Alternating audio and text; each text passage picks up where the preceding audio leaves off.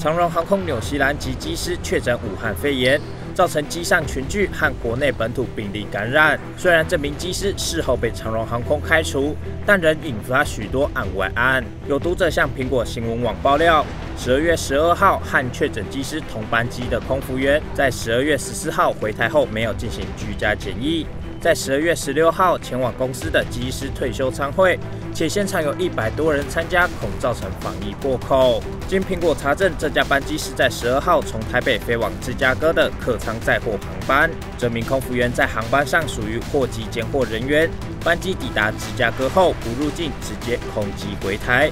该名空服员在十二月十四号抵台后，依照民航局规定，在外站未入境住宿的机组员不需要居家检疫，因此便在十二月十六号晚间参加聚会。长荣航空证实确有此事，但称这名空服员并未违反规定，也说这名空服员的核酸检测为阴性，并从十二月十九号开始进行居家隔离。不过，有资深空服员认为，客舱载货航班即使不会接触到乘客，但难免在送餐或吃东西时，还是会跟其他组员接触。也说机组员虽然不会入境该国，但抵达外站后不会留在机上，而是会穿着全套防护装备，在航厦内完成相关手续才会再上机。且这类航班是属于长程班，在航向内停留时间会比短程班久，容易增加感染风险。因此，希望相关配套措施能够更明确，降低染疫风险。